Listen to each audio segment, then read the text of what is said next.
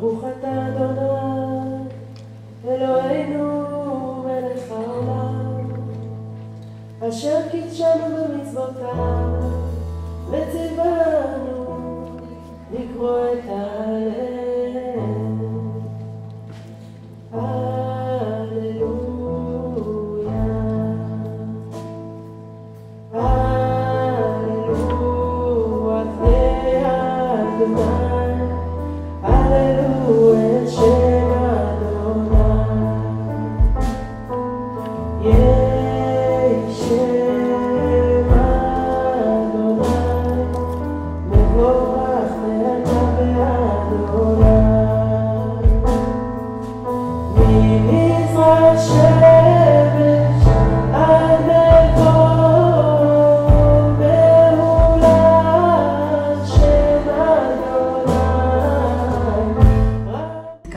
הזו והזו היא היא נותנת המון המון כוח.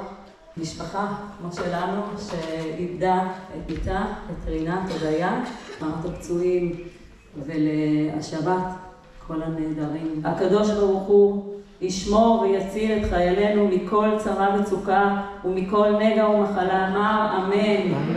בשכר זה הקדוש ברוך הוא ימלא עליהם רחמים, כוחם ויבטל צערם, רפואת הנפש ורפואת הגוף. ואני ממליצה את זה לכולם. אנחנו צריכים כמה שיותר לשמוח ולדאוג אחד לשני. אני רוצה להגיד שאנחנו צריכים אה, לשמוח ולחיות ולהיות חזקים לא רק כדי, אנחנו חייבים לקום ולהיות חזקים, זה לא משנה מה.